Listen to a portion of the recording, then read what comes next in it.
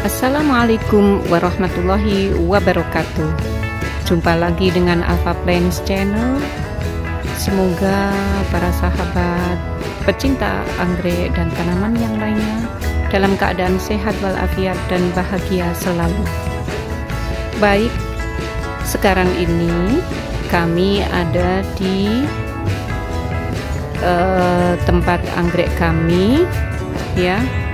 Dan ingin uh, mengajak teman-teman untuk melihat dua bunga yang mungil tapi kemeruyuk ya.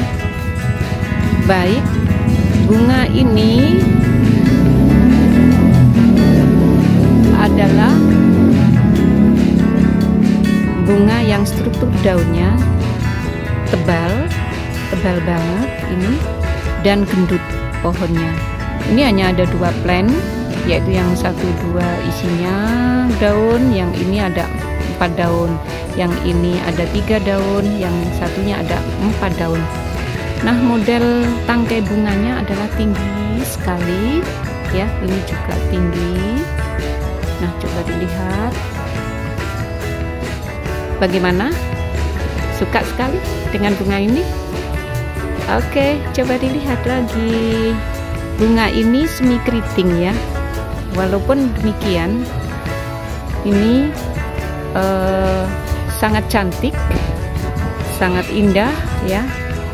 Dan perlu diketahui jumlah dari bunga yang mekar ini luar biasa banyaknya lebih dari 15 dalam satu tangkai yang satunya adalah sekitar 10 lebih.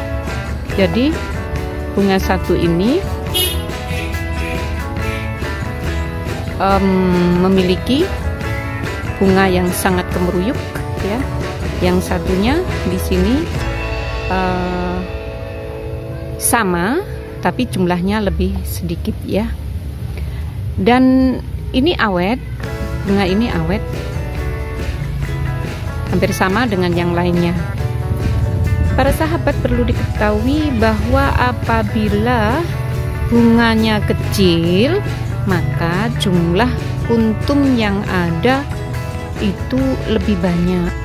Tapi apabila jumlah kenop atau kuntumnya itu sedikit biasanya model kenopnya atau bunganya besar itu ciri-cirinya bunga anggrek dendrobium ya. Di yang jumlah kenotnya sedikit biasanya itu tampak besar ya. Kelopaknya besar lidahnya besar. Tapi kalau seperti ini ini ini sedang ya. Kecil nggak terlalu kecil lah. Jadi seperti ini ini jumlahnya banyak itulah ciri-cirinya ya. Uh, ini masih belum mekar sedangkan yang ini sudah mekar tinggal tiga yang belum mekar ya. Jadi lebih dari 10 bahkan 15 lebih.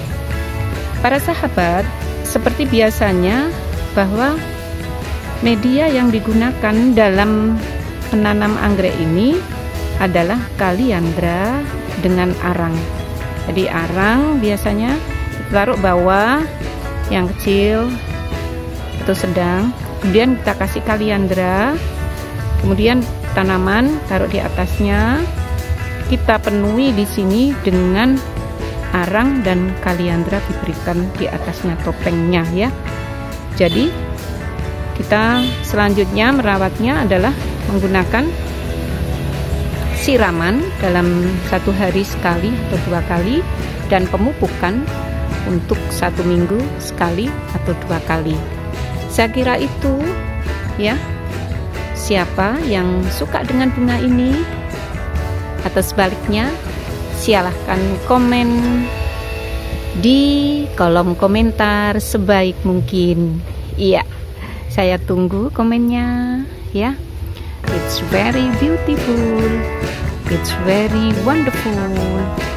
And we like all. Suka ya? Suka semuanya? Tentunya. Saya kira itu. Terima kasih atas atensinya.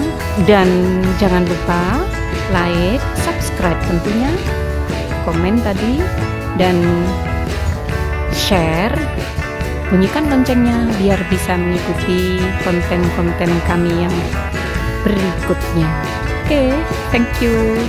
Terima kasih. Goodbye dan see you. Assalamualaikum warahmatullahi wabarakatuh.